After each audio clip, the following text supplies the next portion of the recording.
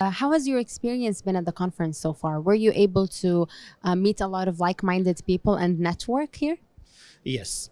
Uh, yesterday, mainly yesterday during the lunch and during the evening, it was really interesting. And the organization is amazing. Everything is um, is perfect. Thanks a lot. That's amazing. We're more than happy that you're enjoying your time here at the conference.